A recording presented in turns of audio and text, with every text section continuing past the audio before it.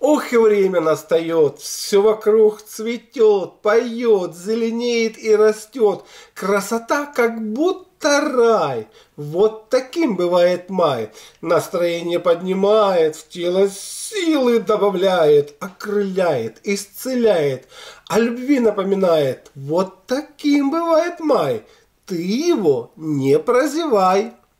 28 мая, день Пахомия Великого, назван в честь преподобного отца Пахомия Великого. Он был язычником, но по убеждению пришел к вере Христовой. Вел очень строгую подвижническую жизнь. Он молился в летний зной воздавая руки к небу и не позволял себе опустить их. Иногда покрывался даже грязью от обильного пота, падавшего с его тела. Постился, бодрствовал по ночам. В дальнейшем он на пустынном месте основал обитель и стал наставлять приходящих вере Христовой. Когда Пахомий, желая стать монахом, пришел к славному старцу Паламону, то услышал от него предостережение. «Я должен сначала сказать тебе, какова мера жизни монашеская. Вот она. Во всякое время мы бодрствуем половину ночи, размышляя о Слове Божьем. Очень часто мы остаемся с вечера до утра работать своими руками, делать веревки, чтобы бороться со сном и снабжать себя тем, что нужно для поддержания нашего тела. То, что остается сверх нашей нужды, мы отдаем бедным. Что же касается того, чтобы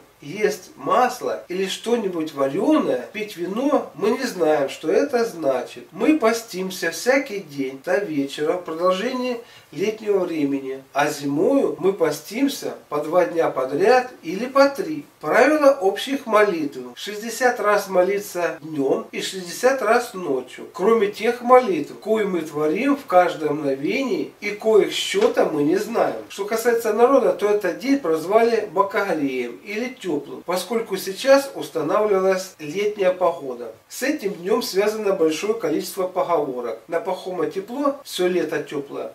Пришел Пахом, запахло теплом. Приметы. Если на Пахома погода теплая, то можно отправляться на рыбалку и рассчитывать на хороший улов. Если сегодня багряный восход, лето будет жарко, с пожарами.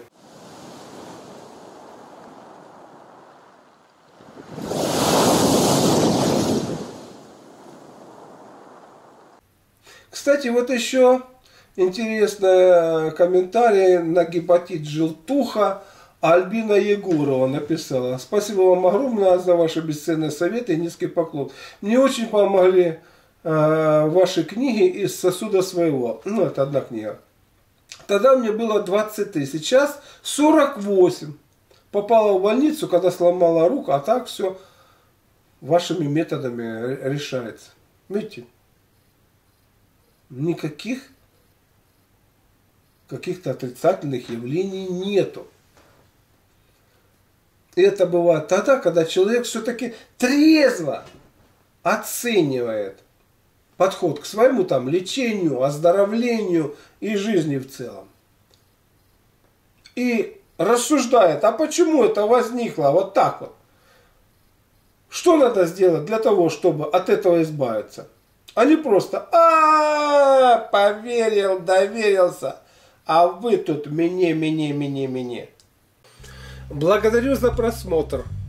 Если вам понравилось видео, ставьте лайк, звоните в колокольчик и подпишитесь на канал. Ваше участие развивает канал и способствует его продвижению. Вы можете посетить бесплатно мою авторскую библиотеку на сайте Малахов Про. Доброго здоровья и до новых встреч!